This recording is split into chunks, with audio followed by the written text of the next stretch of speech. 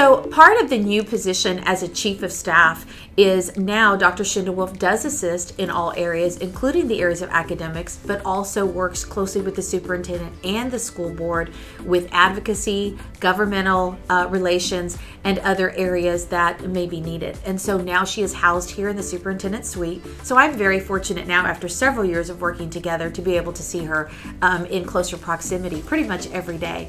She is a ray of sunshine. She is always professional and happy and pleasant and really a consummate educator.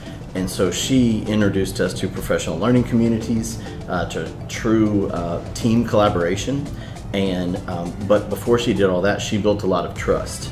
So she built that trust with me for our administration team between principal and AP. She built that trust with the teachers, the team leaders, um, all the staff, and so it was a great leadership lesson for me um, that you know before you implement anything new, you have to have that trust as a leader. So that was really important for me to learn as a as a leader and how she mentored me through that because she needed me as her assistant principal to be on that same page and you know rowing in the same direction. As an administrator, I grew more under her leadership in that position than I have as a principal and under any other leader that I've had. Um, she made sure to coach us each and every day. I mean, it was not you never felt like you never felt like you were alone. She was always always in it with you. And then she transitioned into the the role as chief academic officer. And in that role, man, we've had some we've had some stumbles in school, right? With with COVID, especially um, having to completely recreate schools. Um, and she did it with grace, patience, and love each and every day. She is very complimentary of me and others. Every time I see her, she always asks about me and my family, what I'm involved in, how's life, how's it going. And she's like that to everyone. She's a very sweet person. Congratulations, Amy, on your selection of this wonderful honor bestowed upon you tonight at Sam Houston State University. I have been a big cheerleader of yours all the way, as I know the university is as well. Your star is bright and you continue to shine in any position, in any capacity in education. Amy, congratulations on uh, receiving the Distinguished Educator Award from Sam Houston State University. It's a very well deserved award, and I know the university is proud to have you as this recipient. Congratulations, Dr. Schindewolf, on being named the Distinguished Educator for 2022. I can't think of anybody else more deserving of that honor. Congratulations, Dr. Schindewolf, on this award. I think you definitely deserve it, and I'm so happy for you. So I don't remember there ever being a time when I didn't want to be a teacher. Uh, when I was very small, my mom was the principal secretary at our local elementary school, and I spent all of the extra time I had with her there and seeing that, and it was just always what I was going to be.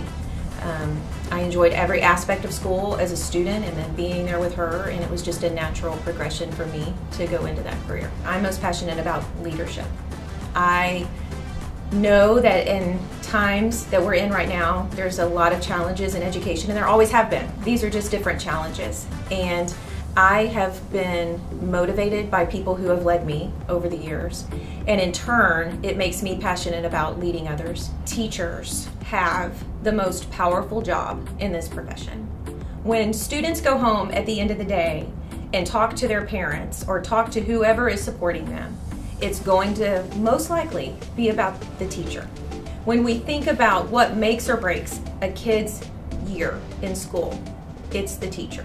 And I think that as leaders, we cannot forget to be empathetic towards the classroom. Regardless of how many years you are out of the classroom, you have to be a teacher first. So I um, call myself a hometown girl. Um, my address was Tomball growing up. Um, I actually graduated from a neighboring school, and the home I grew up in is 10 minutes away from where I live now.